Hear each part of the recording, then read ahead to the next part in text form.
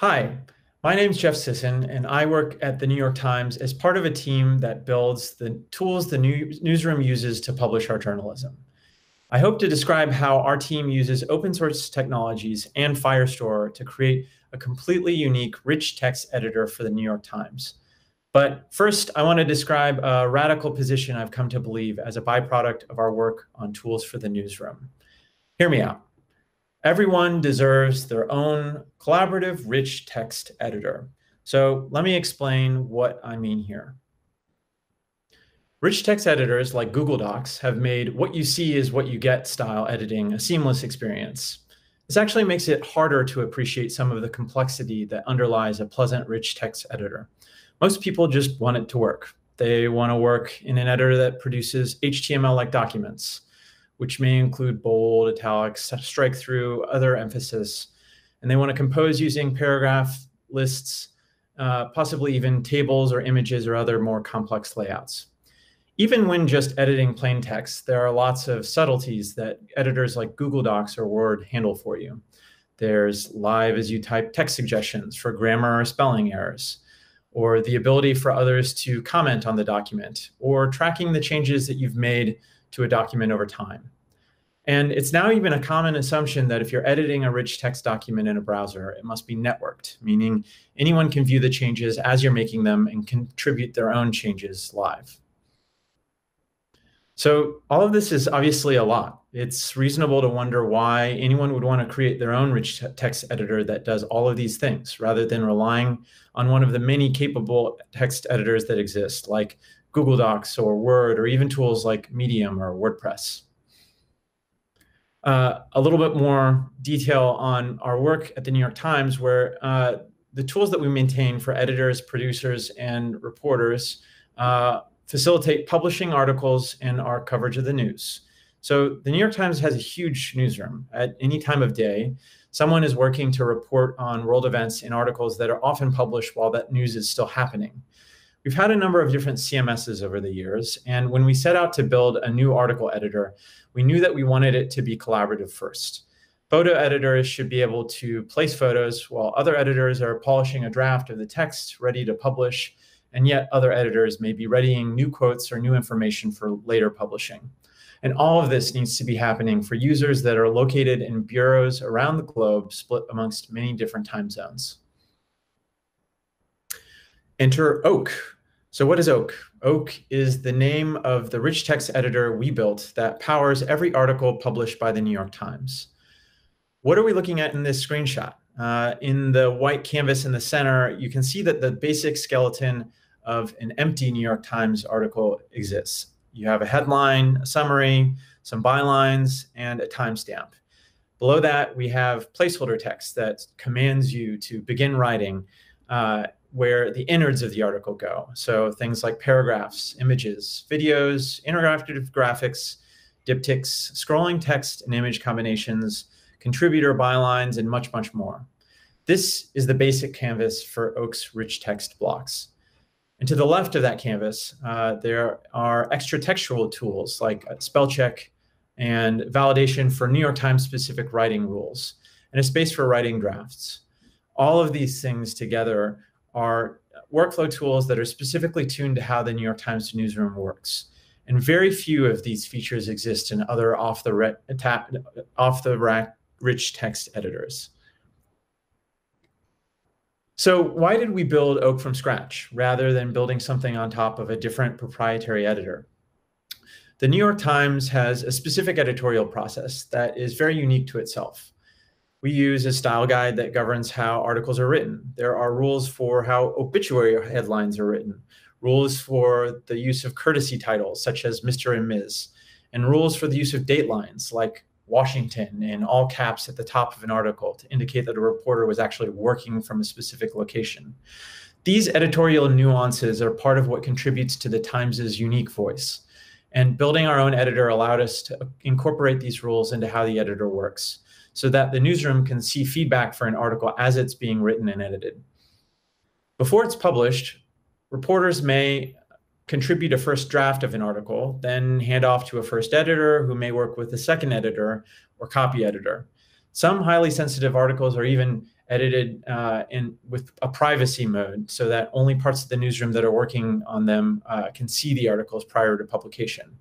All of these rules for around who can access a story and edit it at different parts of an article's editorial lifecycle uh, were only able to be built into Oak because we were building an editor from scratch. And our editor also aims for what you see is what you mean fidelity. And what does that mean? So uh, when editors are working in the Oak uh, article editor, all of the styles for headlines, paragraphs, and other elements that you see as a reader are also shown to them, meaning that the newsroom has instant feedback on exactly how their story will look when it's published. Many rich text editors are focused primarily on the editing. And so this ability to sort of see the shape of the article as it's being written has helped to change the kinds of articles that we publish. All of these features together are difficult to achieve in off-the-rack rich text editors, which is part of why most of Oak was built from scratch to accommodate our newsroom's needs. We want our reporters, editors, and producers to focus on contributing journalism and let the rich text editor itself do much of the heavy lifting around editorial workflow and document production. But we didn't attempt to build our editor alone the main technical component that allows the New York Times, and of course you, if you want, to create the rich text editor of our dreams is called ProseMirror.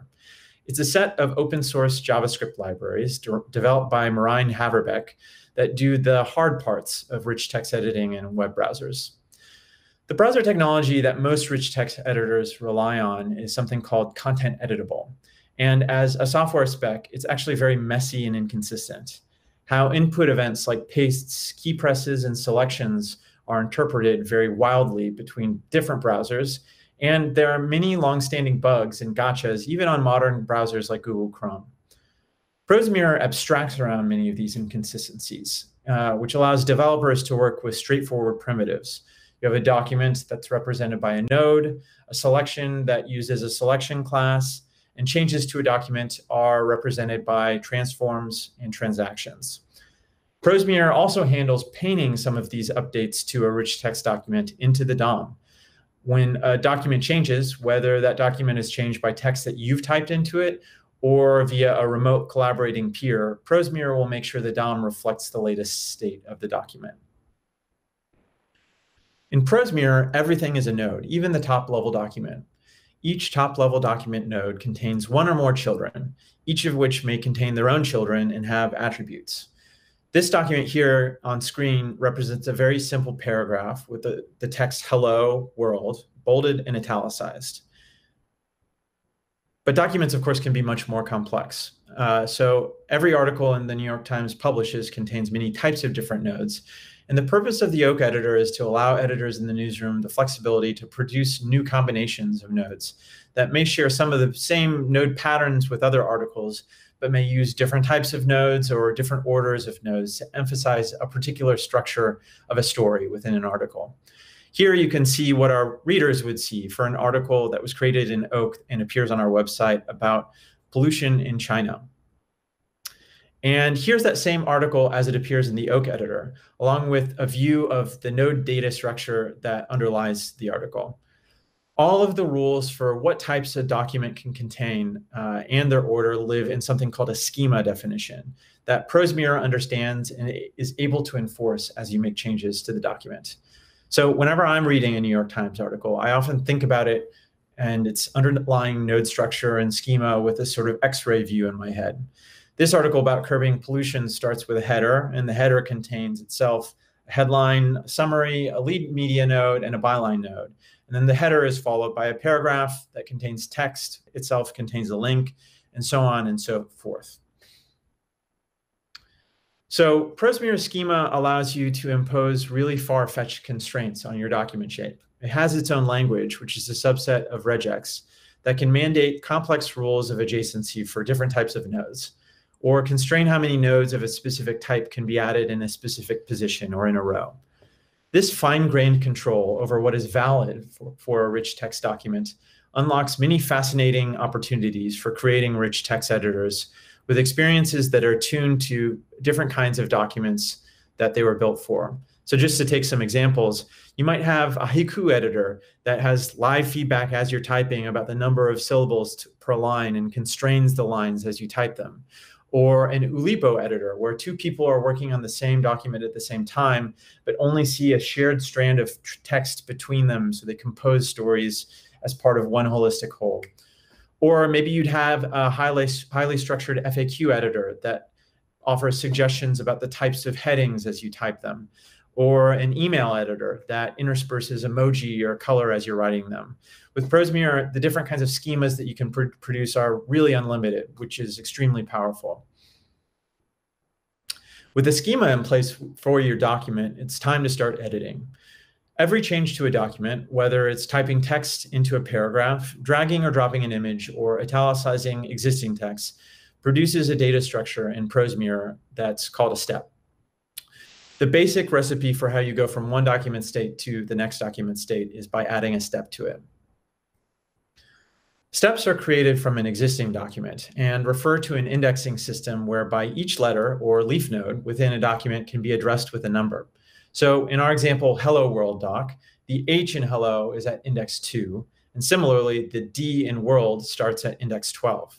So if I was to type an exclamation point into a Prosemirror managed editor with this document in it, the exclamation point would be represented as a replace step, which is a specific class of step at position 12 containing a string which contains the exclamation point. Prosemirror's collaborative plugin tra tracks the local state of the document using a monotonic counter that starts at zero. So if you have an empty document, you have a document with a step counter of zero. For each step produced in the local document, the counter increments by one. Once a step is created, the Prosemirror Collaborative plugin requires you to implement what's called uh, an authority server in order for that step to be synced remotely. The authority server's job is either to accept or reject incoming steps from multiple clients, according to whether those clients are attempting to insert steps in or out of order. Clients whose steps are acknowledged by the authority server continue on their merry way. Clients whose steps are rejected because their steps were submitted out of order and don't reflect their other peers' steps need to perform an operation that basically operates like a Git rebase. The Prosemirror Collaborative plugin will take into account any steps that the local client hasn't yet fetched uh, and change the steps to reflect those other peers' steps. Once this rebase operation is complete, the client can attempt to resend their steps back to the authority server. So while Prosemirror's collaborative editing architecture requires a central authority server in order to order incoming steps from all connected clients, it actually only provides a reference implementation, which means you're on the hook to provide your own implementation. Uh, this reference implementation is only persisted in memory and can't really scale. Uh, and so when we set out to build collaborative editing in Oak, we knew we needed to build an authority server. We evaluated several different databases and backend architectures to support collaborative editing, but ultimately we settled on Firestore. Part of Firestore's appeal is that in addition to providing traditional database functionality, so ACID, reads and writes, it also comes with a client compatible event bus built in. For Oak, which is a browser-based application, this means that we're able to read and write changes from the database directly in the browser. Oak uses Redux and Redux Saga to manage its local state. And because Firestore is an event bus as well, we can treat Firestore as if it was just another local to the browser event sink. Steps arrive from Firestore and are wrapped in Redux actions that mutate the local state. This vastly simplified the architecture we needed to build our editor. We didn't need to build out a CRUD API, an event bus, and all of the client-side adapter code you'd need to integrate with a custom backend. In the Oak editor, each time a Prosemirror instance produces a new step, we serialize that step's data to JSON and attempt to write that step to Firestore using the latest known step ID plus one as the Firestore document key. For an empty document starting at step ID zero, we would attempt to write our first step with a Firestore key of one.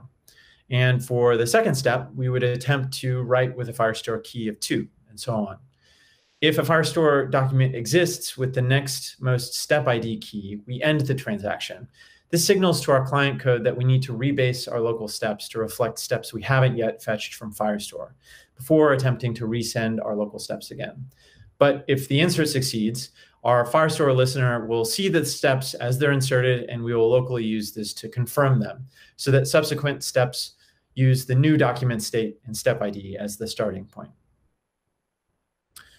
When reading steps, whether you're confirming a step you yourself inserted or receiving a step from another collaborator, the implementation looks exactly the same, a Firestore collection listener. When the steps collection is updated, we fetch any steps greater than the last step ID and apply them to the local state of the document. Because the listener executes whether or not the steps you're attempting to insert have uh, been successful, re rebasing other client steps are handled using this same listener as well. The Firestore listener acts like an event stream for any step that's been confirmed remotely by Firestore, whether those steps are your own or someone else's.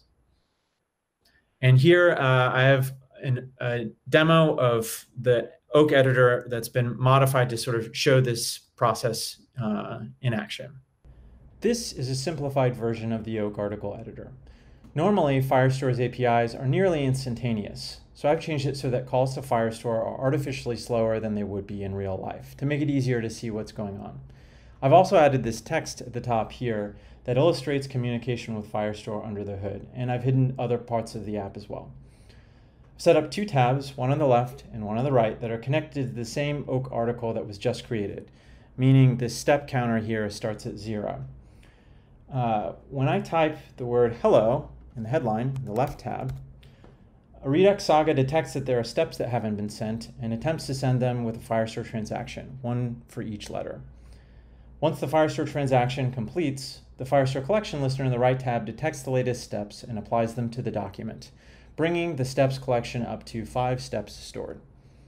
Because the, this editor has been artificially slowed down, we can actually simulate the case where both tabs attempt to execute a Firestore transaction at the same time.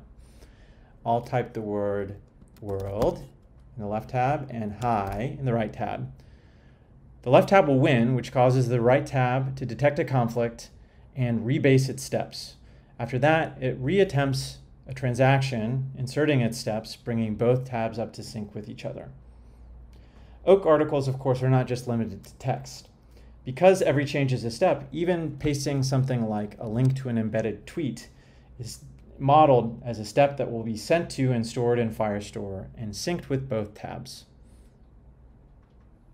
So ProseMirror itself doesn't mandate how collaborative editing is implemented, and you're free to choose whichever backend suits your needs. Firestore was a good fit for the New York Times because we needed to build a collaborative editor really quickly without worrying too much about how the backend would scale. While our daily number of articles in production is relatively modest, the true scale for our collaborative app is determined by the rate at which pe most people can type, which can add up quickly. Choosing Firestore allowed us to not worry about whether or not our database would handle our anticipated load. I think Firestore is also a good fit for anyone building collaborative editing that's part of a broader client-side heavy browser app. It's really freeing to think of Firestore as just another event source within your browser-based app, where mutations to your app state may come from remote changes or local changes, and you can focus your client code on what those mutations are doing rather than how they're produced. Finally, Firestore allowed us to simplify our overall architecture. We didn't need to build out a CRUD API or worry about backend race conditions. We were mostly able to focus on our app's business logic. I hope everyone is sufficiently enthralled and inspired to build a million tiny, beautiful, collaborative rich text editors for whatever purposes suit your whims or fancy. I want to give a shout out to the Oak and publishing teams at the New York Times. I have to say that the project of building a collaborative editor was a, truly a multi year collaborative effort in its own right, and I'm proud of the work we all jammed on together. Thank you, and go build the rich text editor of your dreams.